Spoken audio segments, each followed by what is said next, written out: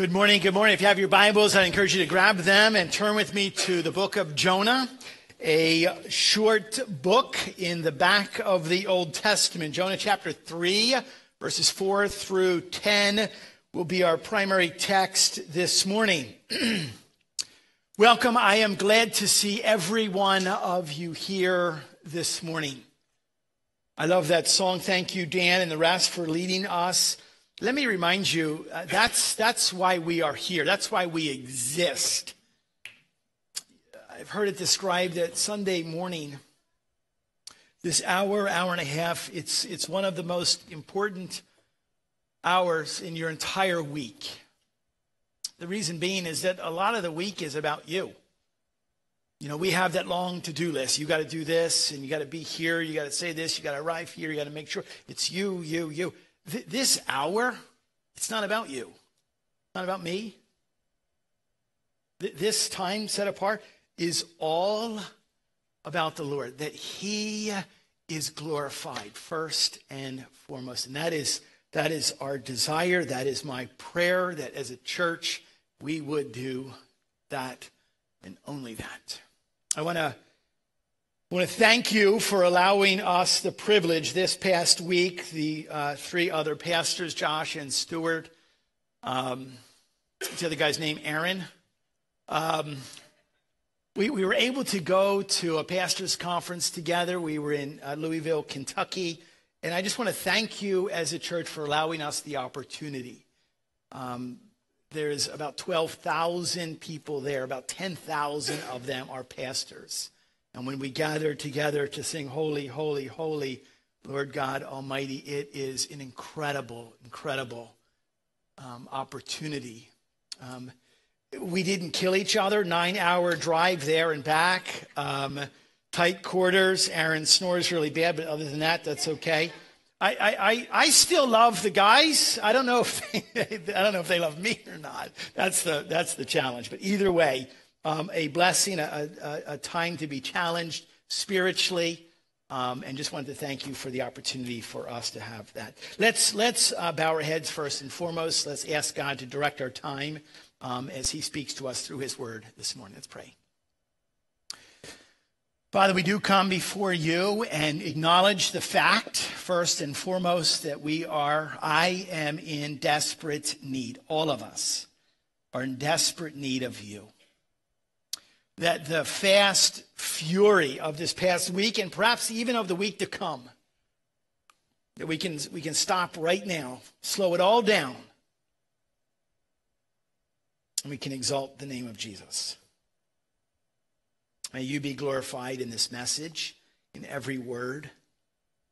May your spirit be freed uh, to speak to hearts, to convict if need be, or to comfort.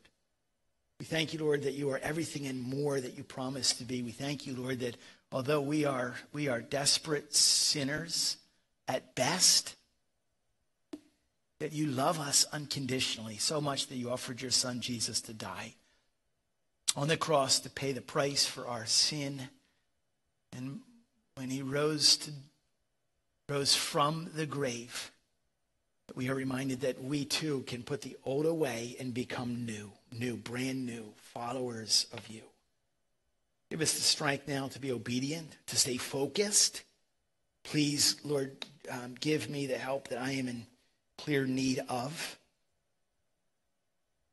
And may you do with us, may we be your servants who hear you.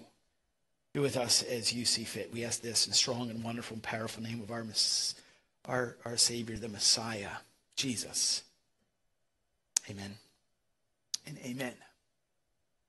Okay, we have been on a journey um, over the past several weeks. A journey it includes a story, a story about a man whose name is Jonah, and we talked about the fact that Jonah is a, a lot like us, or we could say that we are a lot like Jonah. Jonah just like you and I, was given a, a calling. He was given a command.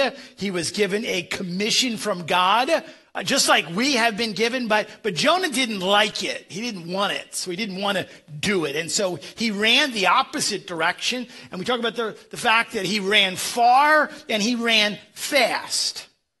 In this story, we've heard about a, a ship in a storm. We've heard about a bunch of scared sailors. We heard about a man being thrown overboard. We've heard about a, a, a scared soldier, sailors. That we've heard about a giant fish. We've heard about this desperate plea, this crying out for help.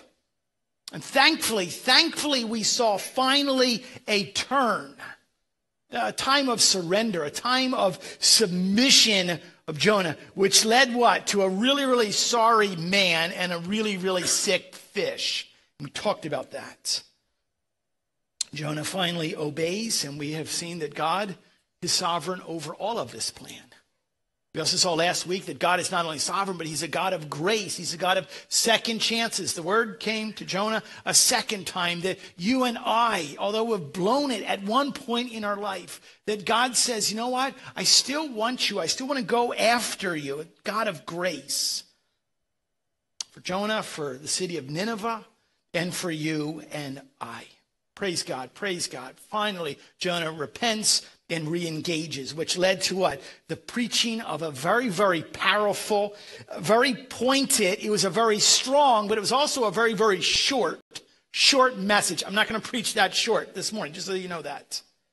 Which also led to what? A dramatic event, a time where spiritually dead people were brought to life. They were, the term is what? They were revived term is what? What we want to talk about today as revival. We're going to look at and we're going to learn about revival. Specifically, um, what, what is it that takes place? What, what are the parts of it? What is the what? The, the deoxyribonucleic acid, the DNA of revival. We know that DNA is the fundamental and distinctive characteristics or qualities of someone or something, especially when regarded as unchangeable. Like, what is the DNA? We pray for revival out there, but Lord willing, we pray for revival in here, in here. What, what, what constitutes a revival? We're going to look at that. Follow with me as we go to our text. We'll pick it up in verse 4 Jonah chapter 3. Jonah began to go into the city, going a day's journey, and he called out, Yet, yet 40 days, and Nineveh shall be overthrown. And the people of Nineveh believed God. They called for a fast, and they put on sackcloth from the greatest of them to the least of them. The word reached the king of Nineveh, and he arose from his throne. He removed his robe, he covered himself with sackcloth, and he sat in ashes. And he issued a proclamation and published through Nineveh by the decree of the king and his nobles. Let neither man nor beast, herd nor flock taste anything. Let them not feed or drink water, but let man and beast be covered with sackcloth. Let them call out mightily to God. Let everyone turn from his evil way and from the violence that is in his hands. And who knows? Who knows? God may turn and relent and turn from his fierce anger so that we may not perish.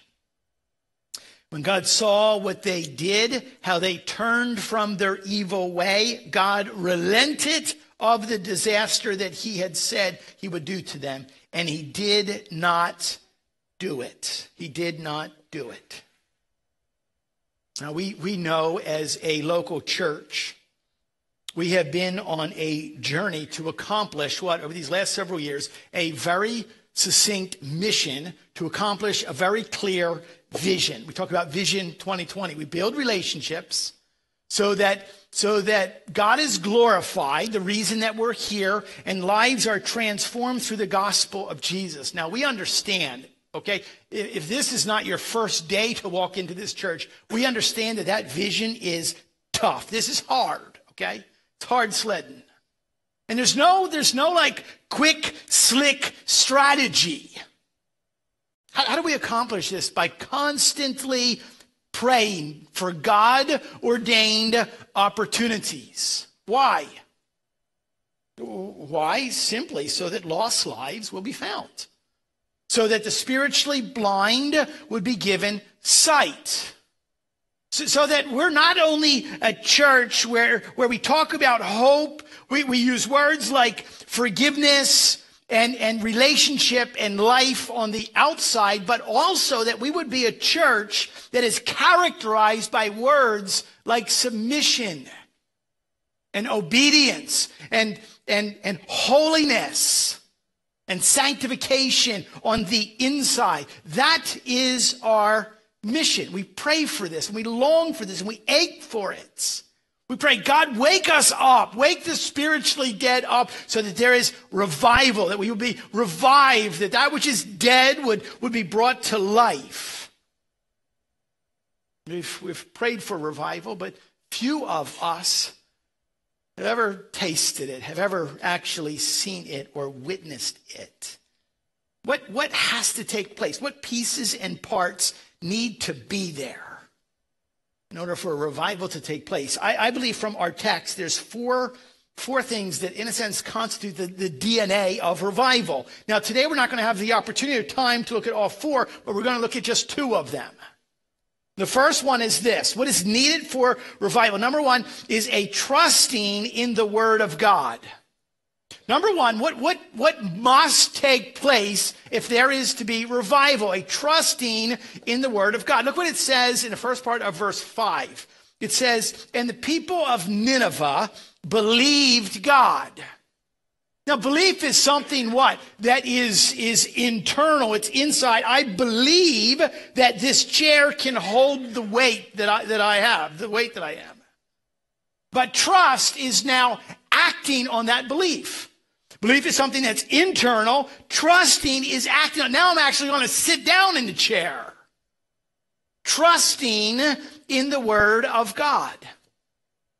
I heard a message from Jonah. It was a message that was preached that I think you'd agree with me. It was not a flashy message here, okay? This is not a come to church and feel good kind of a message. This is not what we refer to in evangelical circles as, as a seeker sensitive message here. There's no, there's no like light show and there's no fog machine, smoke machine. There's, there's none of that. There's no impressive sound effects or audio visual. It just kind of draws you in. I'm like, wow, there's none of that. It's a very short message. It's just truth. Okay? It's, it's all truth. It's plain truth. Here's the message. In 40 days, Nineveh,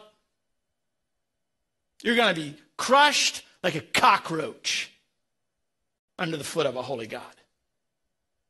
In, in 40 days. You got 40 days, and what? You will be overthrown. You'll be decimated. In 40 days, you will be destroyed. Well, that's a way to really just warm people up, right? To feel good about themselves. Because that's what preaching is about, right? No, preaching is about truth. Yes, truth in love, but preaching is first and foremost about truth. There's the message. Nineveh, this city, the capital of Assyria, great city, huge city, filled with lots of people, has literally been steeped in sin. Living, living lives of such debauchery that by design I have not even spoken about the details of what they would do to those that hate them or disagree with them or they don't like. Steeped in sin, and as a result, they deserved punishment from their sin from a holy God. Why? Because a holy God cannot stand sin. But, and what happened? There's one man it took him a while. He was reluctant, but he finally submits and obeys. He finally is obedient to speak truth. And what happens? What happens? There's, there's something that ignites. Something like took place here. And, and to tell you the truth, I don't think it was because Jonah was such a phenomenal preacher. I, I don't think it's because it's just the way that everyone hung on his every word. I don't think that's it. He just was faithful to do what God had called him to do. He was just faithful to the word that God had given him to say. What happens? Something changed. Like there's a turning. It's evident that that that God did the work. It wasn't man. God does the work, not us. God is the one who. He's the one. Our job is not to convince people, please, and plead with them, please, please come and, and please just, just follow. God's in desperate need of you. No, he's not. Our job is to present the truth, all truth, nothing but the truth. And God does the work to convict and to convince. And there was what is referred to as a revival that takes place. Revival takes place when God works in the hearts and men uh, of men and women, and we certainly see that right here. We are to be like Jonah, faithful and obedient, and let God do what he does. We are to be like Jonah, just faithful and obedient. We, we can't, we can't, we can't make people repent. I tell you what we can do is that we can model what repentance looks like. Let, let me say that again. We can't ever force someone to repent, like convict them enough so that they just turn from their evil way. No, we can't do that. What God has called us to, to do and who God has called us to be is what? Salt in, in, in a world that needs seasoning. Salt that, that, that is in a world that is, is blah. Salt that, that we're to be salt and we're to be light that brightens. And, and, and we model for others what repentance looks like. God, God calls us to do that. Matthew Henry says this when it comes to this phrase, they believed in God. He, he explains that they gave credit to the word which Jonah spoke to them in the name of God. They believed. Though they had many lowercase little g gods, what? There was, they recognized there was one, but one living and true God, the sovereign Lord of all, and that to him they were accountable. That all of a sudden their eyes were open, that they're accountable to God, that they had sinned against Him and had become obnoxious to His justice. You realize that your sin, you ever been around an annoying person? Let's not get too like specific here. You ever been around someone who's like obnoxious? Like, oh my goodness, and the clock ticks really, really slow when you're around them, and then their voice is just like the voice is just great. It's just like fingernails and a obnoxious. Like, no, stop, go away. That's that's who we are in our sin, in the presence and sight of a holy God. Obnoxious to God. Henry continues on, Matthew Henry continues on that this notice sent them of ruin approaching came from him, and consequently that the ruin itself would come from him at a time prefixed if it were not prevented by a timely repentance. And he adds, and quote, that he is a merciful God. There's a time frame. There's a, there's a clock that is ticking, and every single one of us will be held accountable and, and, and responsible for our own sinful actions. And apart from what? The mercy of God who gives to us a voice of truth. Lord willing that we hear even this morning. People, hear me on this. Men and women, and boys and girls. What we see demonstrated by these people, the city of Nineveh, is exactly what we are praying, what we are praying that God would do, not only in the hearts of many in our community, but it's exactly what I am praying would happen in the hearts of us as a local church. We're just, praying the world repents of their sin and comes crashing, falling on their knees before Holy God. Wait a minute. As we are praying for that out there, let me tell you this. I am praying and pleading, Lord, help us, help me to come to a place where my spiritual deadness is revived, that there's revival in here before there can ever be revival out there. The DNA, the parts that make up of revival? First and foremost, it's trusting in the Word of God. Secondly, what, what else is needed? What, what else does this revival look like? Number two, a mourning over sin, a mourning, a weeping over sin. In the latter part of verse 5, it says that they called for a fast. And they, they put on a sackcloth. They put on sackcloth from the greatest to the least of them.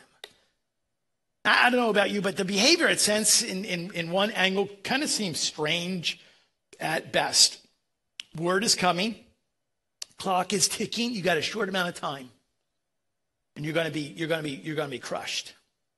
And so the immediate response of a recognition of their sin in the presence and sight and the word of a holy God is that they're going to fast. They're going to call a fast. What is a, a fast? It is a time that is set apart where we simply refrain or restrain from certain things. It can be anything, but in this particular case, and in most cases, it's a fasting from food. Now, we know that the Jews fasted. We know that Jesus fasted. We know that Jesus taught his disciples to fast. We know that Jesus taught us to fast as well. Matthew chapter 6, when you fast, I want you to do it like this. Don't do it like them. Do it like this. When you fast, it's to happen. A needed and necessary time, what? That every single time that you want to go to the fridge, you feel those hunger pangs. Every single time, it's what? It's a moment to focus, to reset Every single time, it's a moment to remind ourselves what? No, I'm not going to go there. I'm not going to fill my stomach with more comfort. It's a reminder to, to, to repent, is what it's used for. That's exactly what Nineveh did. Everyone, everyone, the king declares fast. They're not even going to feed their animals. All of us are going to restrain and refrain from eating for a period of time. In addition to that, look what else. It says that they also put on sackcloth. What? Like weird.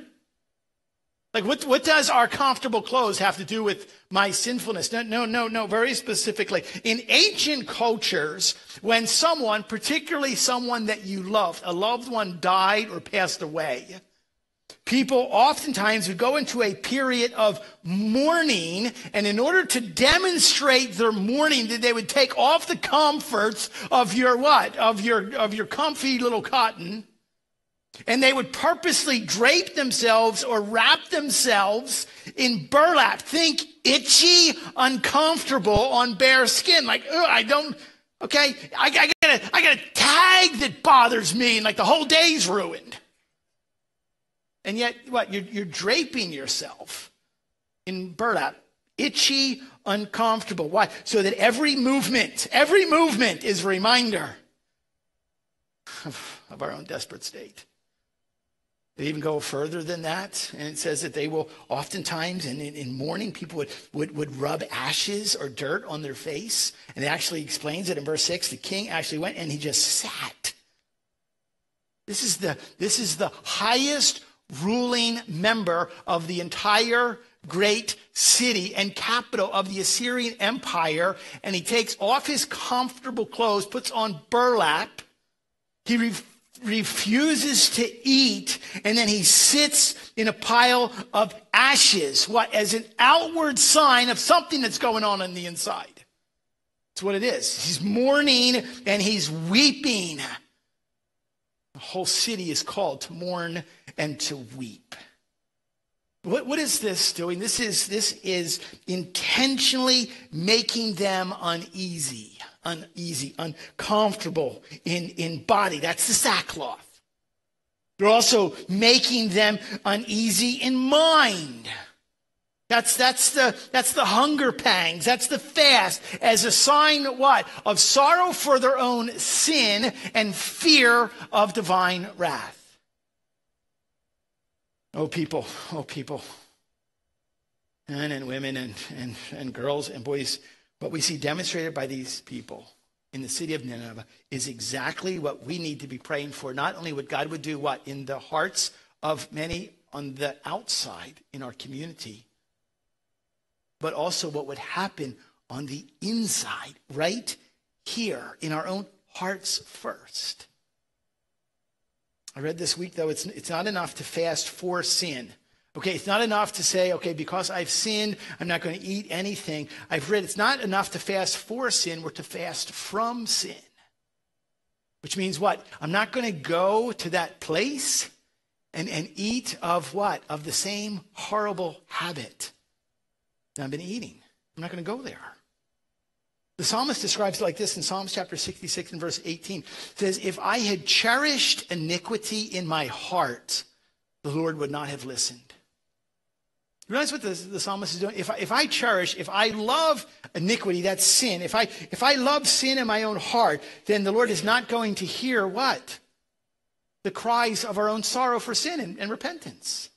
You know what I think of? I've heard about, and, and you've probably seen it before, where someone, uh, they catch or they capture a little lion cub and, and they bring it and they raise it as their own. You know, like it's just, uh, it is just this adorable. And it's like, did you see its little face? And it's so cute. And they bottle feed it and they, and they pet it. Like, this is my pet little lion. And they'll take it like to the circus or something, or they'll show people. And then what happens at some time, inevitably what happens is that the lion gets ticked off, okay?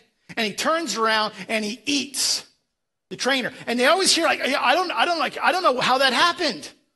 Like, I mean, really, we used to like pet him and put him in his little cage and we talked to him. We fed him a little Bible. Like, I don't know. I, don't know how that happened. But let me tell you how it happened. God made a lion to do one thing kill. That's it. That's what it does. It's been designed, the apex predator of the entire animal kingdom. It does one thing it kills. You realize that people today are, are doing exactly the same thing with certain sins. Just, just, just, no, no one knows. Just keep it over here and we, and we pet it and we feed it with a little bottle. It's, it's cool. And then we put it back in its cage and everything's. No one's ever going to know. What, what's going to happen?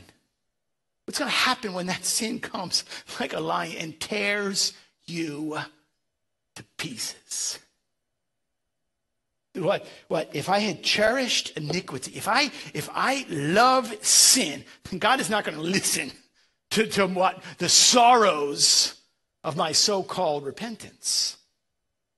We've, we've got to kill sin before it kills us. Exactly what we're talking about. Does it really happen? Like, really? It was, it was a church setting, and people were in church after 11 o'clock in the evening. 11 o'clock. Listen to this. It was after 11 o'clock on a Wednesday night service more than 100 years ago, and a solo voice rang out, sang out with a beautiful Welsh hymn. A man by the name of William Rees wrote the song, Here is Love, Vast as the Ocean. Just people gathered in church at night, and someone begins to sing. It says more than a thousand people had gathered in that church at that time, and they were leaning over galleries and they're packing every single pew and seat, squeezing into every corner. They had been in that church for more than four hours. Can you imagine that? It was a time of intense emotion. Meetings like this were actually beginning to take place all across the, the country of Wales, night after night, with people in fervent prayer and passionate singing with similar disregard for the clock. It says that they were both excited and appalled as they were mourning over their sin. They're appalled. It describes that many people were frightened by their own sin. It was reckoned that in less than a year, over 150,000 people had made a new commitment to follow Jesus Christ as Lord and Savior in what has become known as the Great Welsh Revival of 1904 1905 what happened? Communities, communities began to change. Men and women found themselves drawn into a powerful experience of God, and sparks from their awakening were soon to ignite fires to more than a dozen other countries. Lives were transformed, lifestyles were changed, homes and families were healed, churches were packed and fire with fervor and zeal, on fire with fervor and zeal. This testimony of the Welsh revival that, that the policemen Okay? There were no criminals. There was no crooks. There was no one to arrest because they weren't doing anything wrong. And policemen were gathering on street corners to sing hymns to God be the glory, great things he has done. That, that's, that's what happens Why? Because some people caught something, they heard something, and they were aware not only of their own sinfulness, but of God's amazing grace. William Rees, in that song, wrote these words When I get to heaven, I'll be able to sing it for you on tune, but right now I'm going to read you the lyrics. There is love, vast as the ocean, loving kindness as the flood. When the Prince of Life, my ransom, shed for me his precious blood, who his love will not remember, who can cease, who can stop to sing his praise? He shall never be forgotten through heaven's everlasting days. On the mount of crucifixion, fountains open deep and wide. Through the, through the floodgates of God's mercy flowed the vast and gracious tide. Grace and love, like mighty rivers, poured incessant from above. Heaven's peace and perfect justice kissed a girl, guilty world in love. It was that understanding, right? We, we stand guilty. And yet someone loves us enough to send his own son. You see, that, that it's that truth of the gospel that, that just not, not only excites, but it ignites a different living than anything else, anyone else. That's why we have regularly the communion table before us. That's why the communion table is so important. That, that we pause one time a month. In, in this particular church, I have no idea why. I think it's kind of cool. No one does communion the third week of the month. We do. It's all right. We, we, we stop what and, and regularly remind ourselves the utmost of importance of why we need to trust God, trust God, and also mourn over our sin. That Christ has suffered that Christ paid the price for our sin, for my sin and your sin once and for all. And we have opportunity to pause. Sometimes I, I find that we race, we, we, race to it and we, we race through it too quickly. We're not going to do that. Not today. Paul wrote to the church at Corinth in 1 Corinthians chapter 11. He says this, let a person examine himself and, and, and so eat of the bread and drink of the cup. Examine.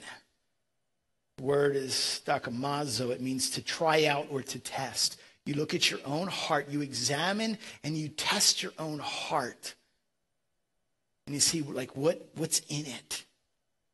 A lot of times what the Holy Spirit will take us to crevices and corners that we don't we don't want others to know about and we don't want others to see. We know that the Jews um, would celebrate Passover in preparation for Passover, that they would go through their house and they would take out all of the leaven, the yeast. Leaven was a picture of sin. And then they clean out the, the cupboards. And then they would sweep out anything that was, that was on, on a table. They'd get rid of it. And what they would often do is that they would light a, candle, light a torch, and they would get down on their knees and they would literally walk along the crevices and corners, any nook and cranny of the floor for even like specks, little, little tiny pieces of leaven.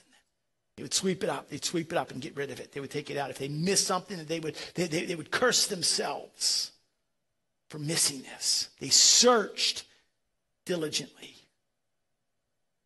Let, let, let a man, let a woman examine himself Examine herself before you eat bread and drink the cup.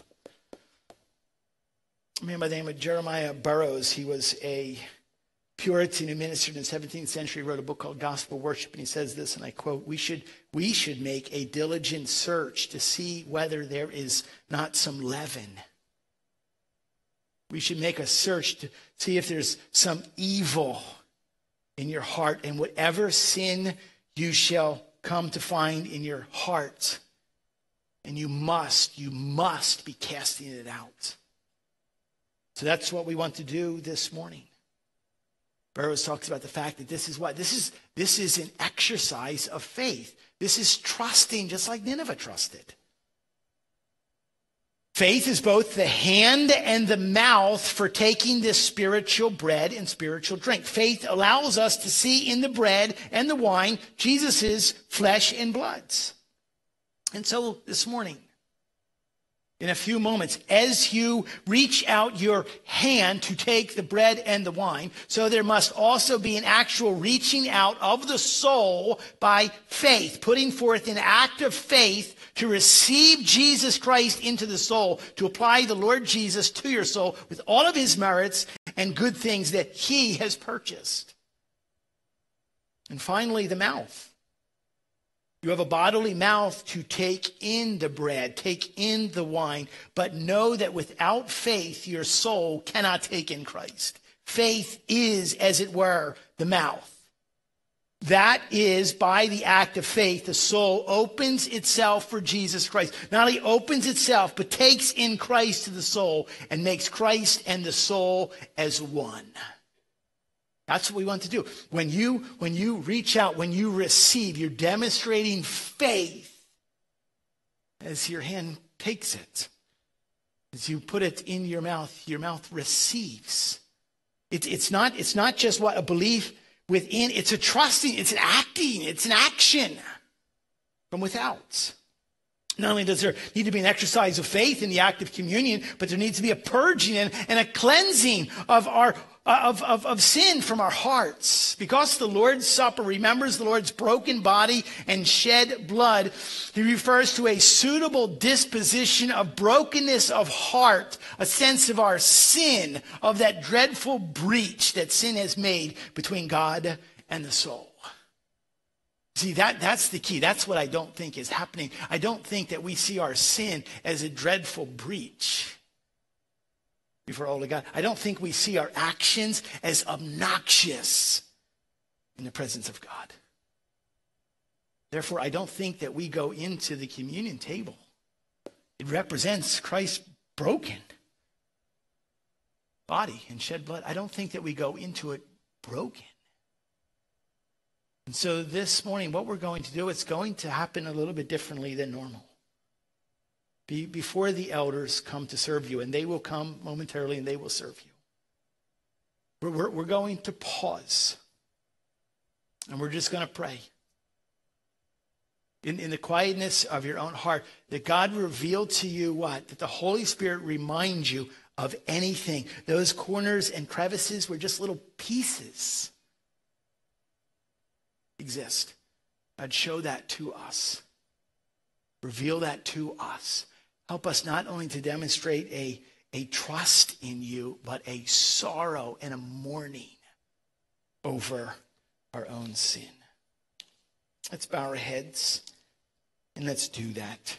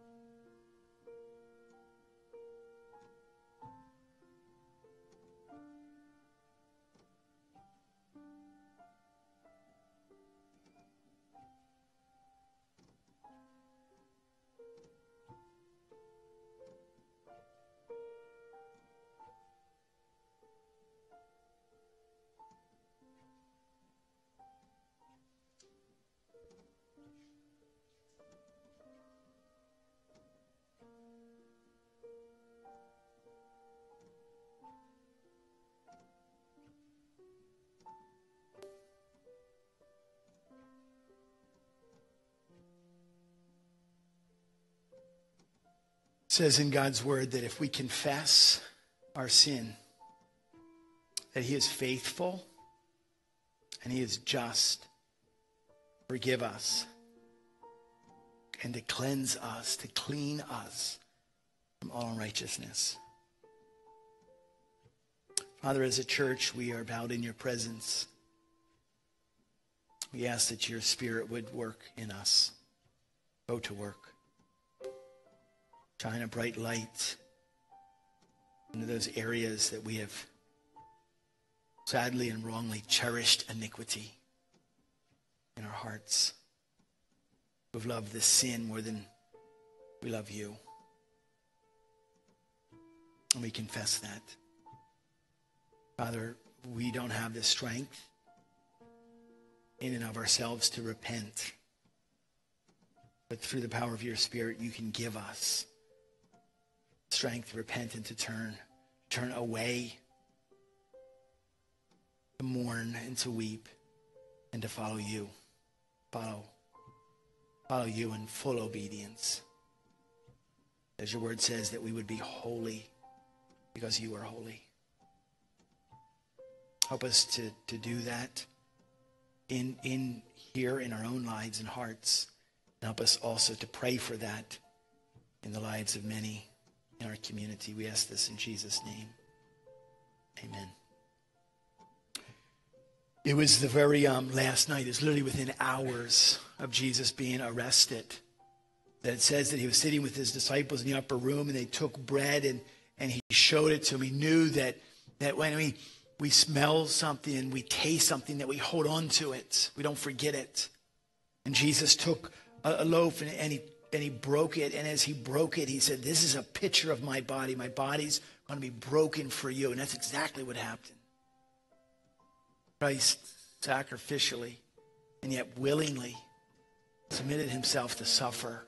And his body was shredded, torn, beat. He also it says that after he took the bread, it says he poured out fruit of the vine and, and, he poured it into a cup. And as he poured, he says, This is a picture of my blood that is going to be poured out for you. And, and there was a lot of blood. It's horrible. But he suffered on our behalf. He suffered to pay that once and for all time payment, that atonement for our sins, for my sins, all those things that, that, that cute little cub that, that we coddle and pet and, and feed that sin that grows up to destroy us. God knew that we would, we would have a tendency to do that. And God shed his blood to wash, to cleanse, and to clean us, and to forgive us, to rescue us from ourselves and redeem us we have the opportunity. It says that we are to regularly remember the Lord's table until he comes again. And, and because we have short memories, we have to do this often. I want, I want you to understand, I don't want to be rude in any way. If you're visiting church and this is your first time and you have not acknowledged the Lord Jesus Christ as Lord and Savior of your life, then please, out of great respect, I ask you, don't take the cup. Don't take the bread. Okay? It would be meaningless. It'd be silly. But if you are here today and you've recognized, even in this very moment, that yeah, that's right, there is a lot of there is a lot of darkness and blackness of sin. But I know that God loves me enough to send his son. And I believe that it was only Jesus, only Jesus that can pay the price for my sin. You can put your trust in him. And you can be adopted into his family. You can repent, follow him in full obedience. Then please, I, I welcome you. I would encourage you take this and celebrate what Jesus Christ has done. The elders are going to come at this time and they're going to serve you. They're going to serve you the bread first. Um, and then we'll pause. We'll ask God's blessing on both the, the bread and the cup. Um, and then we will take that cup together um, and we'll sing a hymn and we will leave this, this, this, this place celebrating what Jesus Christ has done for us.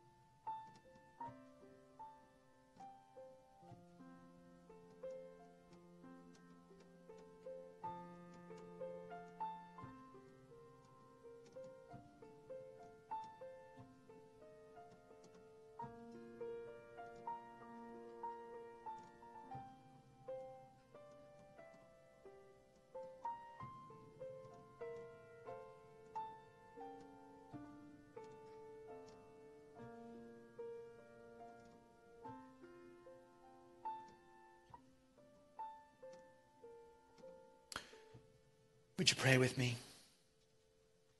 Father, we come into your presence knowing, Lord, who we are as sinners and, knowing who you are fully in, in complete holiness. And Lord, it, it makes no sense. It's impossible for us to commune with you if it were not for Jesus. If it were not for his body that was broken and for his blood that was poured out on our behalf for our sin, for my sin. Father, we recognize the work of Jesus. We pause this minute and we just want to lift up our voices in, in praise to you and thanksgiving for what you have done for us. We're so undeserving. We thank you for your love, your grace, your mercy. Father, I thank you that we have a tangible reminder and that you have instructed us in your word and you've led us by your spirit to partake of this in a way that, that, that brings to memory what you have done. Help us, Lord, in the crazy, fast paced world that we live in, that, that we would stop everything. We would know you. As a result of this, we would know you more. Father, give us the strength to pursue you in full, holy obedience. Thank you for your patience and grace. Thank you, Lord, for this time that we can meet together as a body, celebrate what you've done. Bless this. Bless us as we're in need. We ask this in Jesus' name. Amen. It says that the Lord Jesus, on the very night in which he was betrayed, it says that he took bread and when he had given thanks, he broke it and he said this. He said, This is my body, which is for you. Do this in remembrance of me.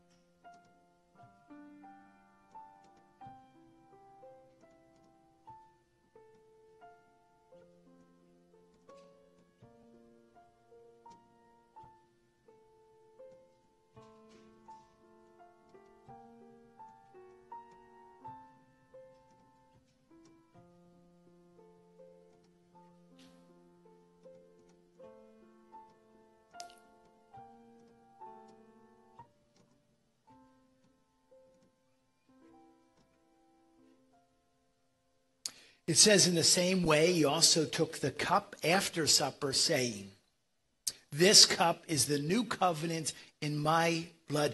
Do this as often as you drink it in remembrance of me.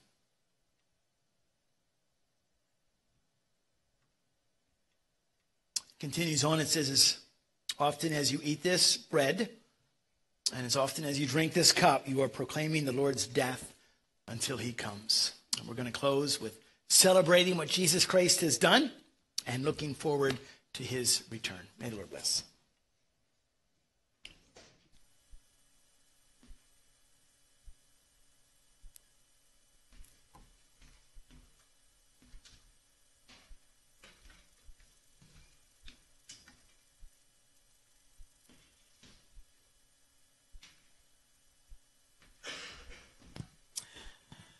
Would you stand with us? We've had a reminder of God's love uh, through communion, and now let's sing of that love.